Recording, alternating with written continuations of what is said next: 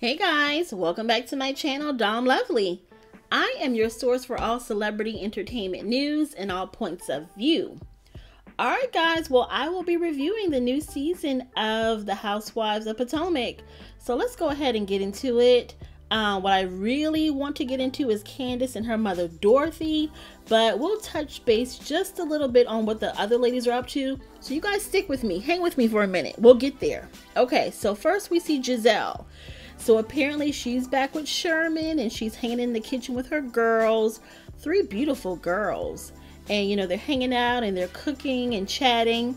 Well, apparently she wants to get her relationship back on track with Karen. So she's baking Karen some cookies and wants to drop it off at the house. She says that she misses the relationship, you know, them hanging out, gossiping, being shady, getting drunk, just having a good time. Which is very surprising that Gizelle decided to act brand new once she got on this show because apparently her and Karen had been friends for quite some years. But I mean, it's reality TV. I understand that's the name of the game. You do a little bit extra, right? So we see Gizelle go over to Karen's, and Karen is hanging out with her guy friend, the white guy. I'm sorry, I don't remember his name. But um, Karen actually gets a call from Gizelle while she's talking to her friend, hanging out. And her friend is a little bit shady, like, oh gosh, she's coming over. Uh, Gizelle makes it very clear that, you know, she wants Karen to come to the door so she can deliver the cookies that the girls made for her. So, you know, they have that exchange. And Karen is basically like, okay, Gizelle, you know, we're cool, but, you know, I just need some space right now. And I will talk with you after the wedding, Candiace's wedding, then you know we can we can maybe hash some things out because Karen definitely felt like Gizelle was being extra shady last season and that she was not a friend at all. So, you know, Gizelle is trying to make good on the friendship and be there for her, okay? So then we see Robin hanging out with her uh, ex-husband Juan. You know, they're at the spa treatments and Robin is getting a massage and you know they're both in their robes and you know they're trying something different in the relationship. Robin says that her and Juan have been getting it in like rabbits. So she's happy and good for Robin because honestly it was a little bit obvious that she wasn't getting any. I mean, Robin just seemed very I don't know, just like she had a nasty attitude, just picking at little stuff and just starting fights for no reason with the other girls. So I'm glad her and Juan seem to be getting things back on track. We know they have two children.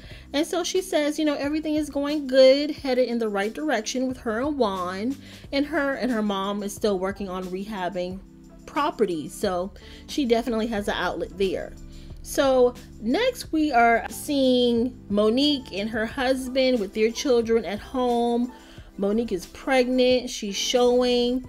We know that last season they suffered a, a miscarriage, and so she's excited and she says that her her husband would have five or six children if it were up to him, but she's thinking that maybe this is going to be the last child. But you know, hubby is a little bit annoyed with her for being messy last season and talking about Sherman's ex girlfriend. He says that him and Sherman have forged a, you know, relationship and they hang out at the gym, and he wants Monique to make that situation right. He wants Monique to stay away from the mess, mainly Ashley Darby, you know, apologize to Gizelle and Sherman, and Monique says that she will do that. So then we see Ashley Darby hanging out with her husband, Michael.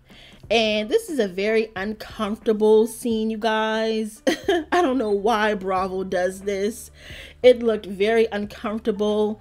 Ashley was in lingerie and, you know, she was trying to sex it up for Michael. And I'm sorry, in my opinion, he's not that attractive. And she just looks like his little plaything. I mean, no disrespect. I know she is his wife, but the whole thing was very off putting she says that they have been having sex very often because she also experienced a miscarriage and it was very hard on the relationship and they want to get back into the swing of things so you know they're having sexy time and she's putting whipped cream on her chest and michael is licking it off again you guys it was it was uncomfortable it was like you know way too much way too much but yeah you know Ashley says that she's trying a lot of natural things to get pregnant again, doing her yoga, eating right, being very attentive to her body. She's even wearing uh, wool socks. That's one that I've never heard, but you know, we know that uh,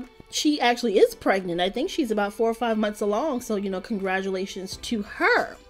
So, uh, Candiace and Miss Dorothy, her mother. Candiace Dillard is talking to her fiance about everything that's going on with the wedding and the seating and the flowers, and she's, you know, just really over it.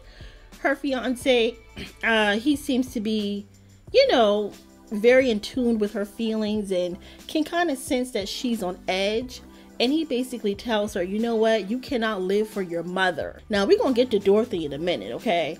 But, you know, he tries to be very respectful. Not sure how he is off camera, but on camera, he appears to be very respectful of her mother and tells her that you cannot live for her and you need to be able to express your feelings. You can tell that Candiace has a lot bottled up inside that she wants to say. Now, last season, it was obvious that there's a lot that she would have said had she not been on camera. This season, in the very first episode, I mean, girlfriend is bringing it out like, you know what? I need to get this off of me. I don't care if the cameras are here or not, okay? So, you know, they're just having that conversation, and a conversation definitely needs to be had with um, Candiace and her mother. We see Candiace have a conversation with Karen. Karen comes by, and they have, you know, began a really nice friendship, you know?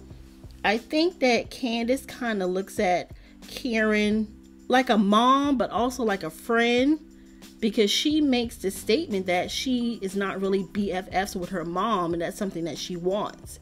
So she kind of sees that in Karen. But while Karen is there, you know, she admits to her that she has actually invited her half brother to the wedding and that she feels her mom is going to be very upset about that. Her brother is a child that um, was had while Dorothy and Candiace's father was still in a relationship. Okay, so a love child. Okay. So now we get to Candiace and her mother having this conversation. She's all nervous and doesn't know how mom is going to respond. And you know, just immediately, her mom is giving her the turn up face, you know, lip all turned up and just doesn't approach it with a love in a loving manner. You know, she doesn't know what her child could have been telling her. But she gets it out and you know she expresses to her that she wants to invite her brother. And dorothy's response was absolutely absurd and disgusting. She basically told candiace that you don't care about my feelings. You don't respect me. You don't care about what i'm trying to do for you. You only care about yourself. And she told her that you are so busy licking other people's behind that you're not thinking about the people that put time and effort into you and when she said that, Candiace snapped on her, rightfully so. And she told her, This is my wedding. I don't care about what anybody thinks. And how dare you put this on me to not be able to have my brother at the wedding because he was an outside child? I think that was wrong of Dorothy. And I think she is selfish. And I think she's very mean spirited because she referred to Candiace's brother as just somebody out on the streets you know, just very rude, very rude. And I think the day will come when her brother sees this episode. And you know his feelings may actually be hurt. Guys i come from a blended family. I have seven brothers and sisters. I don't refer to them as half or step we're just brothers and sisters. Some of them have you know different moms and you know that is what it is. We grew up together. My dad did his best to make sure that we were all together at birthdays and holidays you know bringing all the kids together. So I understand the structure of a blended family, and I think it's wrong that Candiace has to actually hide the fact that she has a relationship with her brother, which is so sad, you know? And Dorothy, because she is so selfish and only cares about her feelings, she is now projecting that onto Candiace, and she wants things to be her way on the day of Candiace's wedding which is, you know, it's not right at all.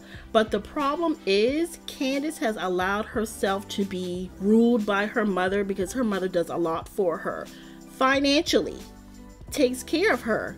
And honestly, Candiace Dillard needs to make a change in that situation immediately because she's about to get married. Her mother has no business taking care of her grown self at this point. Now, you know, she needs to go ahead and find a way to cut off the financial support. But really, that's it seems like that's all Dorothy sees is that, you know what, I'm paying for this wedding. Your dad is not paying as much as I'm paying. I should have say over who is invited to the wedding. So, yeah, you know, Candiace got very, very upset. She stormed out of the room crying. And her mother said, Those crocodile tears don't mean anything. And I was like, Wow. She was not sympathetic or empathetic to her daughter. She was not trying to hear her daughter out. She was only concerned about herself and what her family would think about Candiace inviting her half brother to the wedding. And she even went on to say that she will be embarrassed and how dare you do this to me. So it was only about her. You know, Candiace and her mother have a lot of issues, but I think the first thing that she needs to do is completely separate herself from her mom's money.